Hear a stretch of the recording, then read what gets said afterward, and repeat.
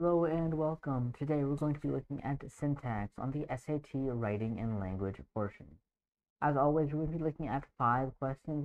We're going to explain each one of them and look at the intricacies of this topic to help you ace the SAT writing section.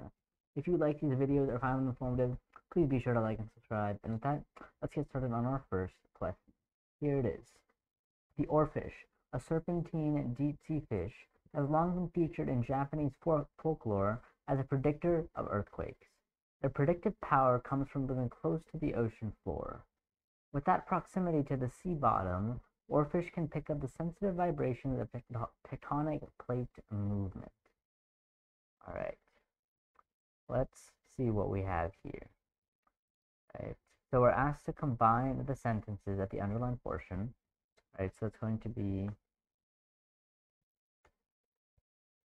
right here. That's where we want to combine the sentences. And uh, we're given our four answer choices, each of which combines the sentences, but we want, we want the one that most effectively does it.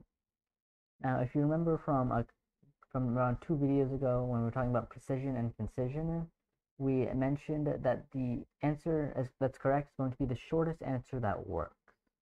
We look at the shortest answer that works. So usually we can look at the shortest answer first and work our way up from there. The shortest answer here is choice A and it says their predictive power comes from living close to the ocean floor, where they can pick up the sensitive vibrations of tectonic plate movement.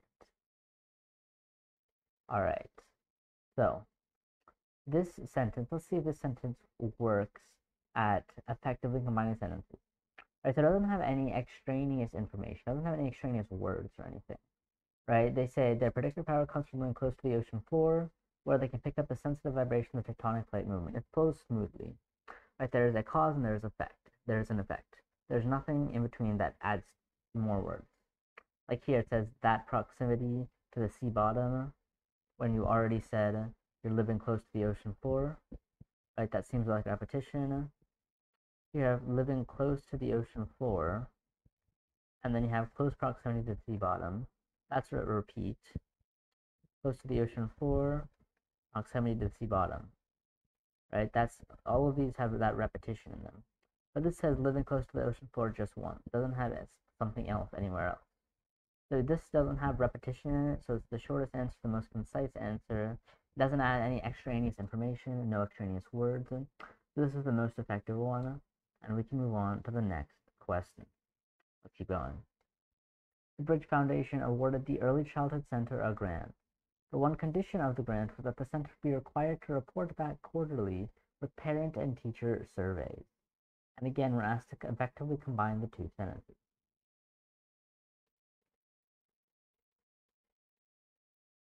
All right, let's see how we can go about doing this question. So we can look at our first answer choice. Let's let's start. Let's ignore the the main clauses, right? The Bridge Foundation awarded the Early Childhood Center grant. The center would be required to report back quarterly with parent and teacher surveys. We know that that's going to be there for every single one, but let's look at the connections, right? Let's look at where the sentences are connected and what what's there. So on choice A, we have a, grant, and the one condition of the grant was that. Choice B was a grant, but there was a condition that the Bridge Foundation instated. Next one was the condition of the grant that it wasn't that the Bridge Foundation awarded the Early Childhood Center was that the center would be required to report back quarterly, and on and on. And then uh, the last one is the Bridge Foundation awarded the Early Childhood Center a grant on the condition that the center be required to report back quarterly. All right, so A and B seem to be a bit too wordy, right? So we have a grant and the one condition of the grant, a grant, but there was a condition that the British Foundation stated. Those two seem to be slightly too wordy. So let's keep looking at choices C and D. So here we have the condition of the grant that was awarded, was that, and we have the a, a, a grant was awarded on the condition that. Right, both of those are pretty concise, right? Neither of those like add any words. Like like if you look at either of these, right? There's no there's not really a way to get rid of some words without without just like moving the entire thing right, without changing a bunch of things. So which one, which one seems to work the best? Well, we're trying to uh, combine the sentences. So we want that it still it still should start with the bridge foundation and still should end with the surveys. Choice C does not start with the bridge foundation, it starts with the condition of the grant. That's why that one is wrong, and choice D is our answer. Additionally, we see that choice D is a bit shorter than choice C. It really shouldn't matter at this point, but since we know, since both these could be the answer and they look to be similar, go with shorter one, and that is our answer. Let's keep going. Mangroves are the amphibians of the plant world. They straddle the land and sea with roots that extend into saltwater and has a variety of wildlife. Uh, again, trying to combine the two sentences. Alright, so let's look at choice A. We have mangroves are the amphibians of the plant world. We can skip that part, right? It's going to be there everywhere. And it says mangrove plants straddle the land and sea, and on and on. That one says mangrove plants again. Seems to be a bit too wordy. Let's look at choice B. We have they are they they're the amphibians of the plant world, and these amphibious plants. Again, kind of seems a bit too wordy. You can just say and them or they or something like that. And then choice C is they straddle the land and sea. That is like exactly what we should be looking at, right? It's the shortest one. And it says mangroves are the amphibians of the plant world. They straddle the land and sea with roots that extend to salt water and house a variety of wildlife. No extra words, it's the shortest one. It flows smoothly, doesn't repeat the plants or the amphibians or the mangroves. So we can pick that answer, and then we see in choice D, we say, and these plants straddle the land and sea. Tiny bit longer since it says, and these plants. They is more concise than that, so that's our answer. Let's keep going. Alright, question 4. Since the 1990s, fishermen in Panama have been clearing mangrove trees for firewood and lumber. Mangrove deforestation that threatens pygmy sloths that depend on mangroves for their food and habitat. Alright, so we can skip the main clauses again and we just look at the connection. We see that see that choice A says it says uh they've been clearing the mangrove trees and that threat which threatens the pygmy sloths. And then that's it. The which threatened pygmy sloths is the connection. It seems decently concise. Let's keep looking at our choices. The next one is uh, for firewood lumber and clearing those trees for firewood lumber. Whoa. Whoa. Did you have to say clearing those trees for firewood and lumber twice? Seems to be a bit too much. Let's get rid of that one.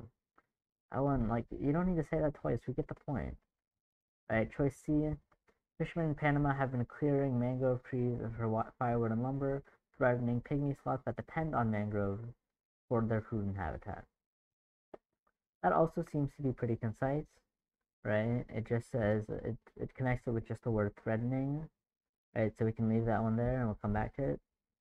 Last one, the fishermen have been clearing mangrove trees for firewood lumber. This deforestation threatens, well, do you need to say this deforestation instead of just this threatens? That seems to be a bit too wordy. Get to that one. So now we have uh, just choices A and C, and let's see which one is going to be correct. So A is shorter, right? We can see that first off. Let's think a bit more, a bit deeper into what is what, what is here. So, in choice A, since the 1990s, fishermen in Panama have been clearing mangrove trees, uh, which threaten pygmy sloths, depending on mangroves for their food and habitat. Well, Okay, the first thing I see is that they kind of took out the firewood and lumber part. That's a no-no. You don't want to take that out. If you're combining the sentences, you want to keep the information in there. You don't want to take information out. And second of all, I see that which threaten pygmy sloths depending on mangroves for their food and habitat. That is incorrect grammar. It says it should be which threaten pygmy sloths who depend on mangroves, something like that. But depending on mangroves is incorrect grammar, and it took out information, so that's also going to be incorrect to C, it leaves the information. in there. It makes sense that that depend on mangroves. That all works out. And let's move on to the next question. Due to their ability to resist wind, round tents are called yurts. Round, tents called yurts are common living accommodations on the Eurasian steppe. The steppe is a dry, flat grassland that experiences extreme gales.